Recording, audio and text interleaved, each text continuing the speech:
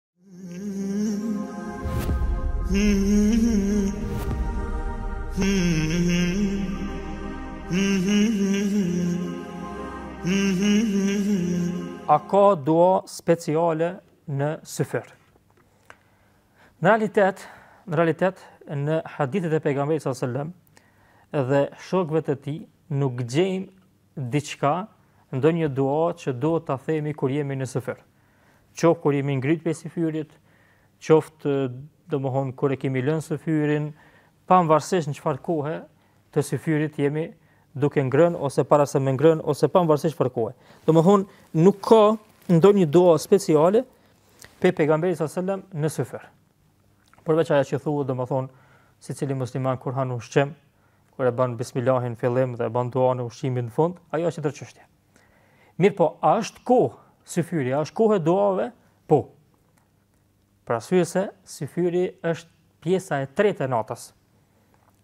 Pjesa e tretë e natës është syfyri. Dhe pejgamberi sa selam thot në hadith, qysh e transmeton Bukhariu dhe Muslimi, se Allahu Azza wa Jall në pjesën e tretë të natës zbret në qiellin e dynjas.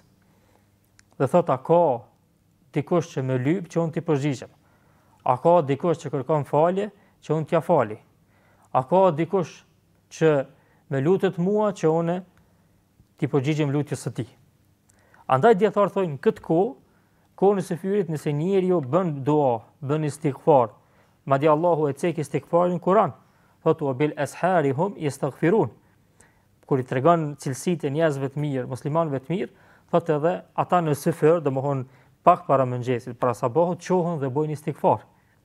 Dhe pastaj e falën edhe namazin e e sabahut. Andaj në këtë rast në syfyr nuk ka dua speciale që e kena mësu prej pejgamberit sallallahu alajhi wasallam ose prej shokëve të tij, por ka dua të përgjithshme. Dhe është koha e që ne shpresojmë që duat pranohen për arsye se Zoti në atë kohë zbret në qiellin e dynjas dhe e ban këtë këtë këtë ofertë për gjithë njerëzit. Andaj nëse jashtë Ramazanit nuk kena mundësi m'u çu në atë kohë, zakonisht na të angazhum ose edhe na kap përtesa ose ose edhe domthon lodhmi me, me angazhimet e jetës, nuk kena mundësi ndoshta m'u ngrit në atë kohë, kur Zoti zbret në qiellin e dynjas për të bërë dua, për të bërë namaz e kështu me radhë, tash në Ramazan e kemi këtë shans.